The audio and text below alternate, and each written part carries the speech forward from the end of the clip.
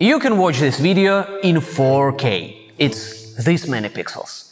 We tend to think of old films, shows and clips as being so compressed and tiny that they're just impossible to watch on modern screens, but over time the quality of the image got better and better. And here we are. Everyone knows what the 80s looked like, but wait, what's this? Incredibly clear footage of laborers in New York working on the Chrysler building in 1920s? Is that the First World War? Color images straight from Russian Empire? It looks really weird. Does that mean we could film in high res from like very start? So where did it all go wrong? Let's find out in our new feature Everyone was kind of a dumbass. Trust me, there is a story behind this title. It has history.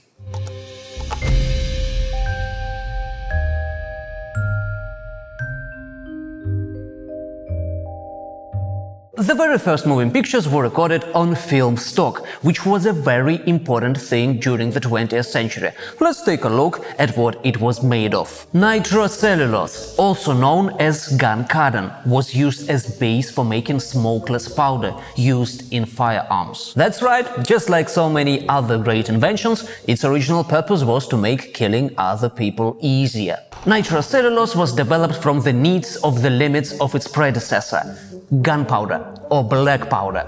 It fired slow, heavy bullets that had a short range. Even if you managed to hit your opponent somehow, after the first volley, it was impossible to see where to shoot next, since everything was clouded by smoke.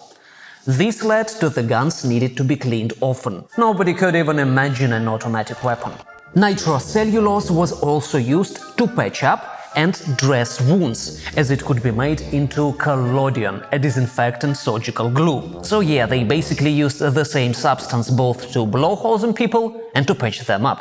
Finally, nitrocellulose was used to produce nitrate-based film stock, which was used all the way up to the 1950s. And as you can imagine, it was super flammable, so before going to the cinema, you'd want to take time to locate the nearest fire exit. Actually, even an hour-long video might not be enough time to cover all the different ways nitrocellulose was used, but here's one interesting story. In 1869, John Wesley Hyatt came up with an idea of making billiard balls from nitrocellulose.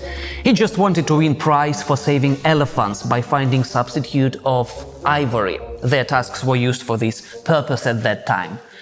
His idea was the bomb, Quite literally, as the balls would explode when they hit each other with enough strength. But let's go back to film. Interestingly, film itself does not have a resolution.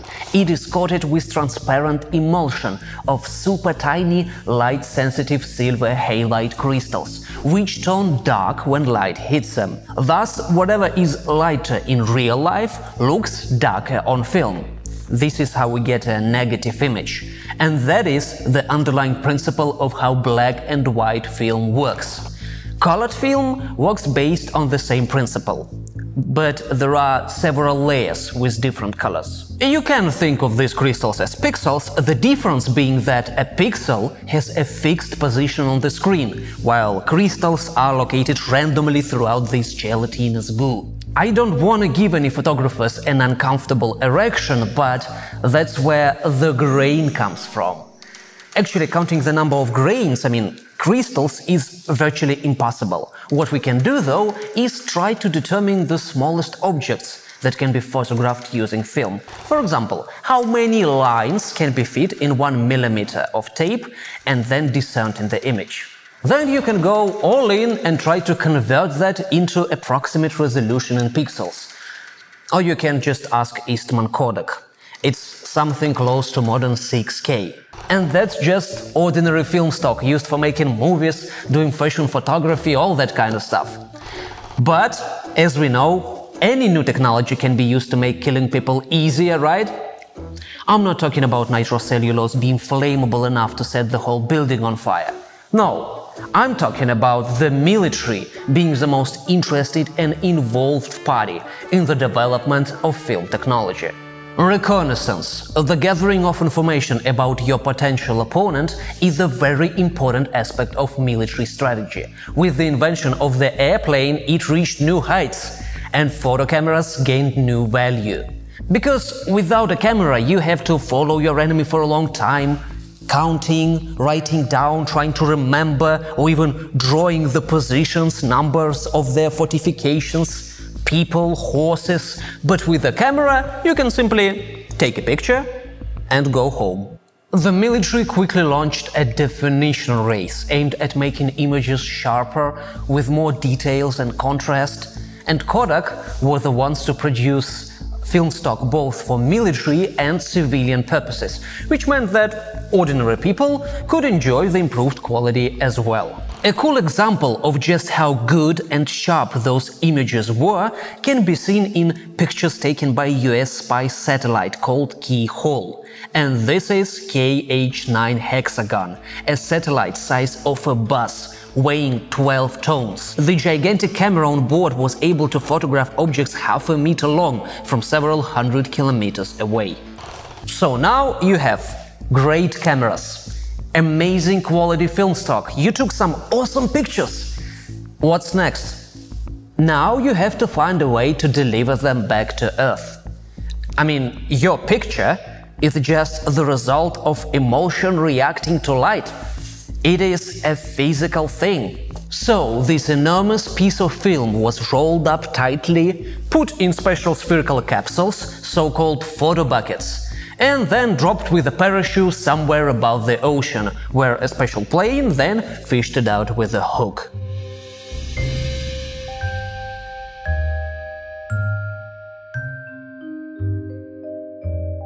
Just to summarize, almost every movie ever shot on film was shot in the resolution of more than 4K or higher. But then something went wrong, and we took a step backwards. Well, actually, there was no other way.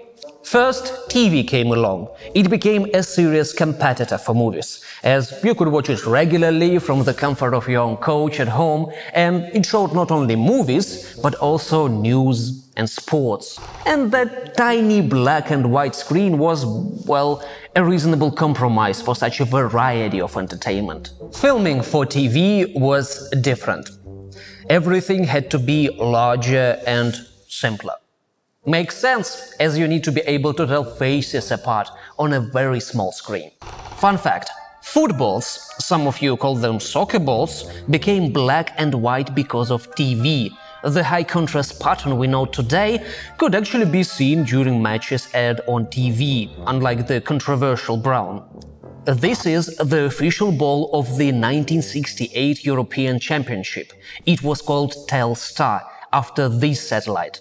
Makes sense to me. Some movies and TV series were still shot on film, but they used a much cheaper type. Because what's the point if everyone is watching on, well, this? Most TV programs soon came to be recorded using fully analog TV cameras. And that's the footage that we remember when we think of 60s and 90s, and probably it was re-recorded multiple times. And don't even get me started on VHS. It had the benefit of allowing everyone to watch whatever they want, whenever they want. And because of how available it was, it's a window into the 80s. Old recordings, amateur movies, TV programs, but the low cost has its price. The quality was way below average. Then digital came along. Digital cameras, digital videos. The whole quest for good quality had to start from scratch. We had to learn how to crawl all over again. The entire evolution of film and video suddenly did not matter anymore. Lots of things that were recorded a long time ago look just fine. Most of them do actually. The value of this footage cannot be overestimated. I recently watched TV series about World War I, colorized. To be honest, it left me with a strange feeling. The color was there. I mean, in real life. But the cameras didn't pick it up, so there was no trace of it on film. Everything had to be carefully added in by artists. This isn't restoration, it's improvement. CGI, special effects, this kind of stuff even though all the colors were chosen to correspond with real historic objects. Neural networks, on the other hand, can restore the details of the past pretty objectively. In order to teach machine to upscale old videos, we first take video originally shot in good quality and then intentionally compress it, adding some noise and artifacts to the picture. Then we show both versions to the system and say, hey, make this crappy video look the same as the good one. Important details are intentionally removed so that the machine learns how to recreate it from nearly nothing. It uses a GAN, which is basically two neural networks working together. The first one tries to improve the image, the second one checks the result and determines if the picture is pleasing to the eye. But neither of them actually understand what pleasing to the eye even means. But in fact, when we think about the final result, neural network should work the way our brain does. Stick with me on this one. If you've ever played the games of the 90s, you'll get what I mean. We don't see much detail, but our imagination adds it in, finishing the picture, polishing it up, in the same way our brain immerses you into a two-dimensional world, it adjusts the poor quality of the video. It fills in the missing pieces and details, imagining how it would look like in reality. We are pretty good at that because we can read those details. We understand that this hardly recognizable line must be a wrinkle and we teach neural network to recreate it the same way. In a sense, we teach it to understand the image the same way we do. A good neural network should be able to look at just a few darkened grains of silver in the film and figure out what they really are. Figure out that this blurred shape is a curl of hair, and this line is the fold on a coat. These are the images that it needs to recreate. So if anyone ever tells you that old videos were recorded in low resolution, don't get mad, everyone was kind of a dumbass.